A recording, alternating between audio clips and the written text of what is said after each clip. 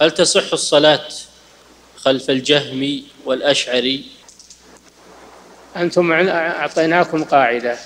قلنا إن ال... الذي يجحد الصفات أو ينفيها إن كان متعمدا إن كان متعمدا ومعاندا فهو كافر فلا يصلى خلفه. أما إذا كان متأولا أو مقلدا فهذا ضال وليس بكافر. فتصح الصلاة خلف المسلم. ما دام أنه على الإسلام تصح الصلاة خلفه.